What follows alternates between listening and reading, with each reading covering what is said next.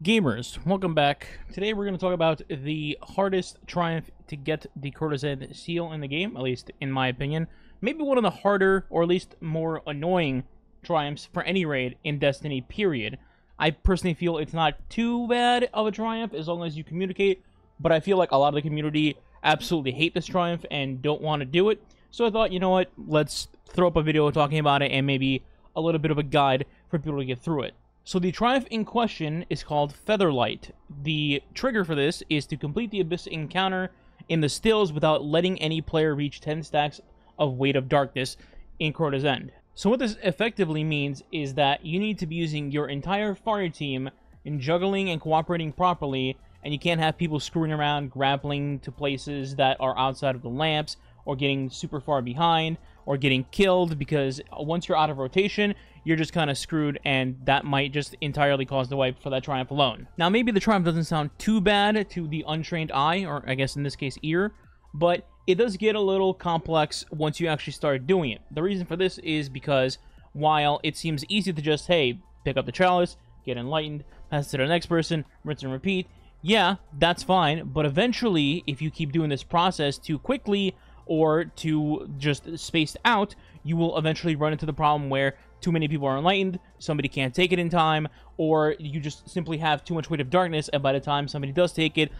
bam, you're at 10, or somebody in the fire team is at 10, and then you have to wipe. So to do this triumph, first thing I do want to talk about is just recommending what you should use, in my opinion, and it really comes down to a couple of things. Number one, I want to talk about Eager's Edge. It is a helpful tool in getting out of bad situations and speeding up the process in the sense of you can go from one lamp to another much quicker than just simply, you know, walking while you can't really jump. But, as the name would suggest, this is a double-edged sword, because while you could move faster with it, you could also swing yourself into a pendulum, swing your teammate into a pendulum, bump somebody, or even just sword into a thrall or a curse thrall, and then you die because you just, well, you sorted into a curse thrall. So generally speaking, I think people should bring it, but Use it only sporadically when you feel like you absolutely must. If you're catching up to somebody because you're super far behind, or you have an absolutely clear lane where you see no thrall, no curse thrall, no holes, no pendulums, etc. Also, quick note, if you are going to use a sword, make sure you try to look up when you sword because that eliminates most of the issue of, you know, auto-targeting with a sword, like across through your back to a thrall that's behind you, which it shouldn't do, but the game does anyway but looking up seems to at least help alleviate that. The other two things I wanted to mention are either running Arc for both Amplified and also Arc Buddies, particularly in Warlock, because the Arc Buddies will attack the Thrall around you. Now, Arc in general, I want to mention because of Amplified, because, well, you just get better movement, and better movement means you guys stay together, quicker pace, get up top faster, and that just is generally a better time.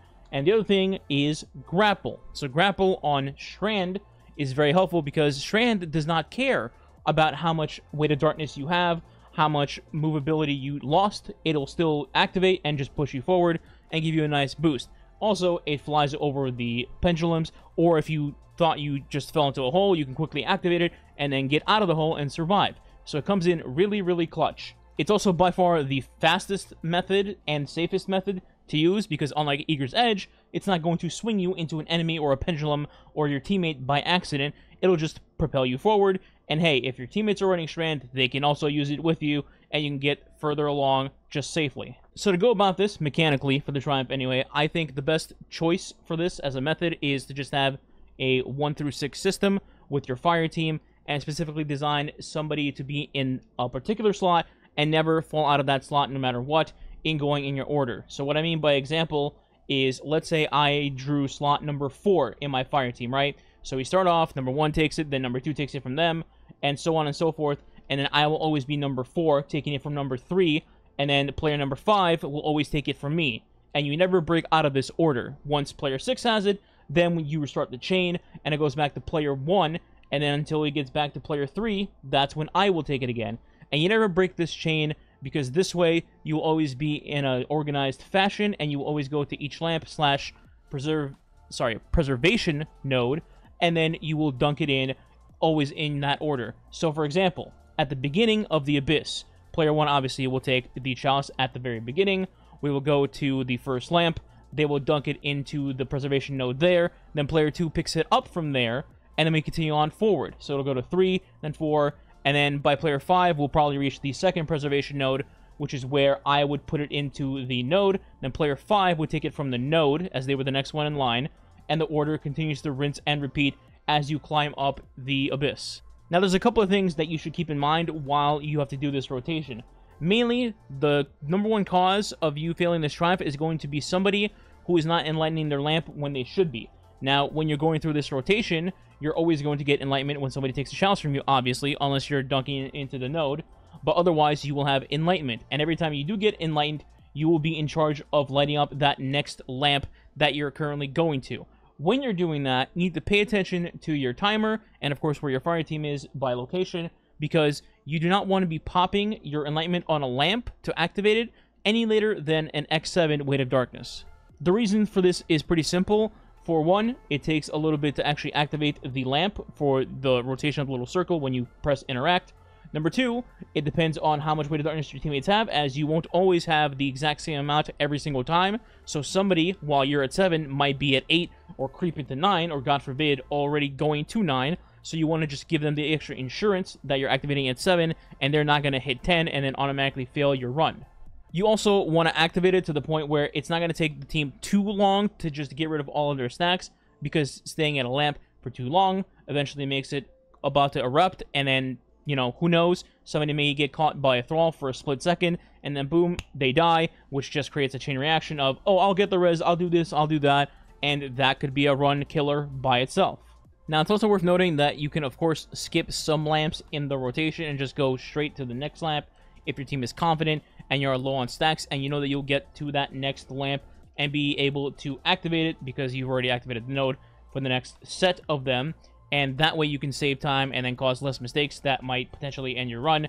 But if you're not comfortable in zooming around and speeding forward in a quick fashion, it's perfectly fine to take your time and go at a slow pace, so as long as you're not making those critical mistakes where somebody's just gonna throw at lamp number 13 and then you have to go all the way to the bottom back again.